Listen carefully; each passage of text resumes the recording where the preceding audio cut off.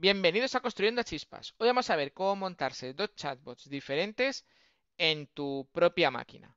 Para no depender de enviar datos a ChatGPT ni a nada, puedes hacerlo correr en local. Eh, son, bueno, he hecho chatbots diferentes. Son primos hermanos, dos distintos. Vamos a dejarlos ahí, pero con mucho en común.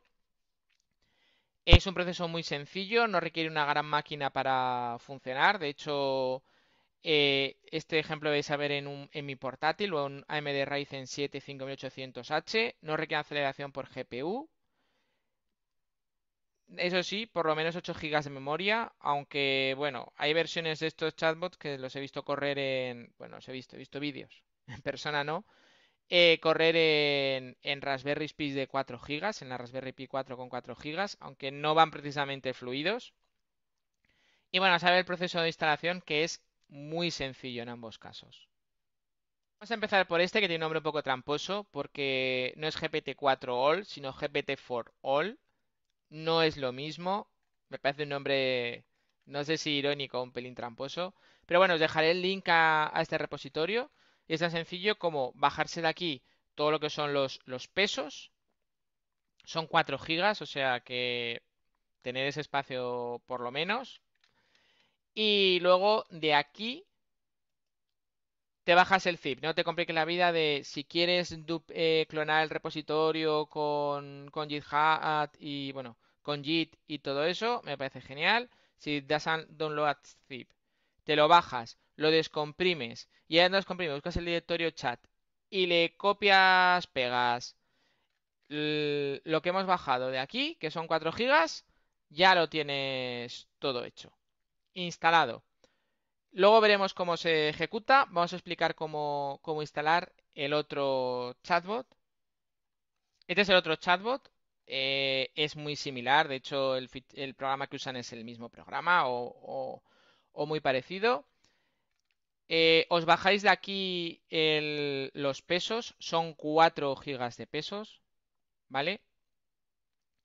Y, y que más, luego tenéis que ir aquí a Let's Relays y bajaros la de vuestro sistema operativo, en mi caso Linux es un zip, lo descomprimís, buscáis dónde está, este no es el directorio chat, sino el fichero chat, desde ese fichero le pegáis los 4 gigas de, de pesos de la red y lo tenéis montado. Ya está, no hay más complicaciones. Más simple no, no puede ser. Y ahora vamos a ver cómo se lanzan los dos y qué opciones hay. Vale, pues he logrado hacer el increíble proceso de instalación, súper complicado, de descomprimir un zip y copiar dentro un fichero. Dos veces lo he logrado hacer. Para algo tengo una ingeniería informática, no os penséis. Y bueno, ya tenemos montados el chatbot. Ahora para lanzarlo, pues como Alpaca incluye una distribución para cada para cada sistema operativo, pues simplemente invocas a chat y ya está. Mientras que GBT for All, como eh, lo que haces es copiarte todo el, el repositorio del proyecto, eh, tiene luego dentro del, directorio chat, tienes pues todos los, ejecutables para cada sistema operativo. ¿Veis? Aquí están los, pesos. Entonces lo único que, que hay que hacer es... Uy, perdonad que no he puesto el punto, aprender a escribir lo primero, es lanzar el que, el que queréis ejecutar. Vale, ya está. Bueno, pues ya tenemos los dos lanzados en la misma máquina. Ya os digo, 16 GB de memoria. Y, ahora, bueno, ¿qué ocurre? Bueno, que esto realmente, estos modelos eh, se puede ejecutar en un ordenador normalito, sin aceleración por GPU, con una memoria que es accesible para las personas, no estamos hablando de auténticas barbaridades, ni una tarjeta gráfica súper cara, pero claro, eso cobra un peaje. Y es que no es que sean maravillosos, están muy lejos, ya no de GPT-4, de GPT-3, están muy lejos de ChatGPT. Pero bueno, funcionan. No funcionan maravillosamente, tiene una funcionalidad muy limitada. Son, vamos a decir que son el pariente tonto de, de ChatGPT pero se pueden usar. Y la ventaja de poderlos usar en, local es que, bueno, pues puedes acceder a ellos desde, desde, tu, desde tu propio programa y puedes usarlos. y binding para usarlos desde distintos lenguajes es útil. y quizás no te sirvan pues para escribir una tesis doctoral, pero igual te haces un, un asistente inteligente con esto, das cierto control a la domótica y cosas así. Entonces puedes hacer, bueno, tus propios inventos y experimentos. Y aparte tiene otras ventajas que luego veremos alguna, una muy tonta, pero que puede ser útil, eh, que no tiene un sistema que está corriendo en, en la nube sobre el que no tienes control. Para que veáis su nivel, vamos a poneros un ejemplo, un ejemplo un poco puñetero, porque implica programar y programar no se les da especialmente bien. No es que no sepan, pero tampoco tienen un desempeño tan bueno como GPT. Yo creo que ahí es donde he visto GPT Chat, eh, Chat GPT, eh, donde he visto su, su mayor problema, ¿vale? Su mayor diferencia con el inteligente de la familia. Entonces lo que vamos a hacer es, pues, ponerles una prueba para que veáis el nivel que tienen. Vamos, vamos a ello. Vale, la tarea que les voy a mandar es esto, es escribir un, programa de Arduino para medir la distancia de un objeto usando un sensor HCSR04. Esto, eh, ChatGPT te lo escribe tranquilamente, ni siquiera versión 4, versión 3.5 lo hacía tranquilamente. De hecho, fue de las primeras pruebas que hice y lo hice sin problema. O sea que, qué maravilloso. Vamos a compararlos. Eh, aquí sí que aconsejo, entienden el español, pero no son mm, tan buenos entendiendo el español y te entienden tan bien como eh, ChatGPT. Si quieres evitar errores, usa el inglés.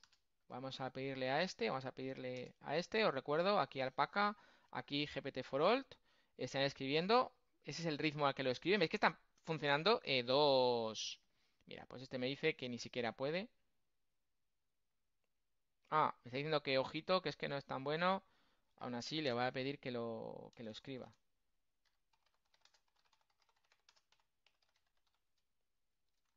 Siempre usar ser educados con las IAS para que cuando dominen el mundo... Bueno, pues aquí vamos a ver el de arriba. Lo que está haciendo es... Eh, no pone qué librería importa. Probablemente esta librería exista, pero no pone cuál es. Eh, lo inicializa. Pone que es un, un trigger pin y hace un start. Un desastre. Y este de aquí abajo, pues directamente se, se niega.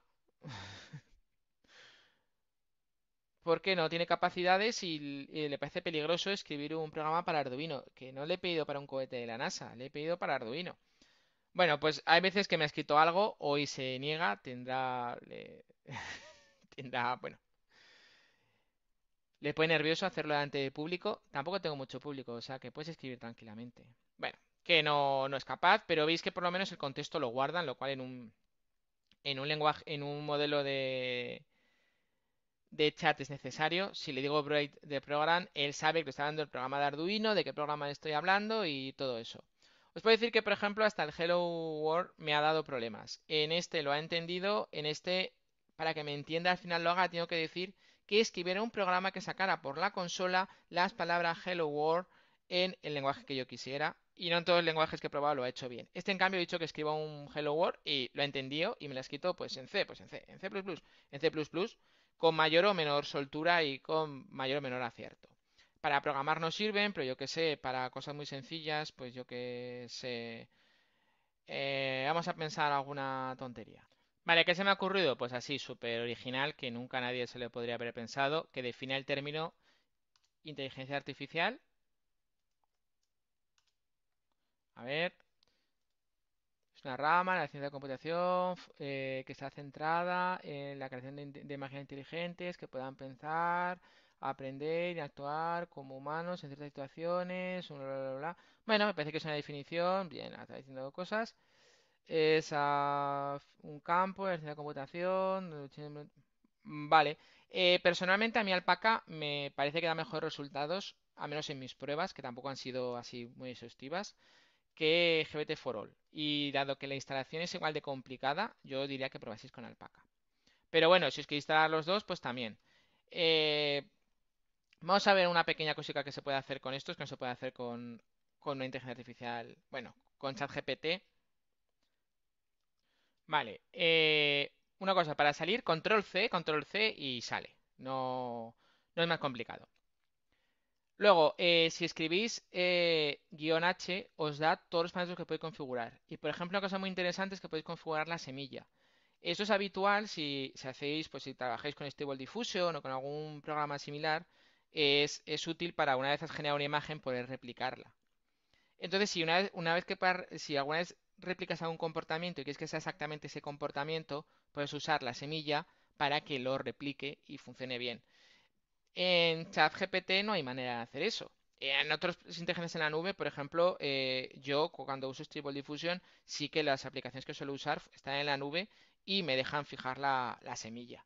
Pero bueno, que es útil y puedes poner configurar bastantes parámetros. Todo esto lo quiero ir probando más y mirando cómo funciona y qué significan, pero a mí desde la semilla me ha parecido y lo he probado y sí. Lo que pasa es que también es cierto que aquí, en según qué cosas, responde siempre lo mismo. Son poco imaginativos. Bueno, igual porque no lo he configurado correctamente, por ejemplo, la temperatura.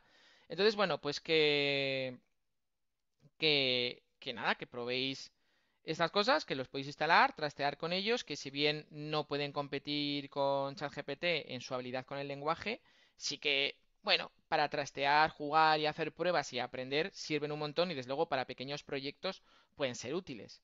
Así que os lo dejo. Ah, un detalle. Eh, no estoy un poco, estoy un poco liado con ese tema, pero como al parecer llama sale de, de, un, de una filtración que hubo de del modelo de Facebook, si está relacionada, si no me equivoco, bueno, llama alpaca, eh, no se puede usar para usos comerciales. Entonces, si tenéis pensado, me monto un negocio con... No podéis tenerlo en cuenta. Y nada, si os interesan estos temas y más cosas de que trastear, pues Arduino y más cosas que quiero hacer, pues nada, suscribiros y seguidme. Nos vemos.